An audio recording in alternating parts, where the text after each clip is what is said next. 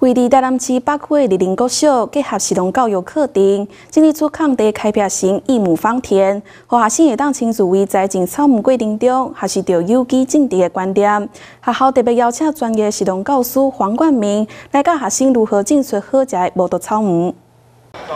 台湾草莓的产季，伫咧大约每一档的十一月到后一档的四月，台南市立林国小考虑到伫咧市区成长的囡仔，真少有机会亲自栽种草莓，所以特别伫咧学校内整理出一块空地，和学生会当亲自体验种草莓的过程。原本这个背后哦是一块荒芜不用的一个空地，那因为小朋友他们念之在之啊，然后也殷殷期盼，希望校园有一块农地，有一块小田地。那可以来搭配他们的自然课程、作物的收成和种植的这个部分来进行哦所谓的教学和学习。那很不容易，我们刚好找到了邀请到石农老师黄冠明老师，还有我们搭配三年级的自然课程哦，让今天所有二十几位的小朋友跟老师一同来学习如何来种草莓。学校透过和学生种草莓来结合实农教育，对过程中和学生了解要安怎来栽培有机的无毒草莓，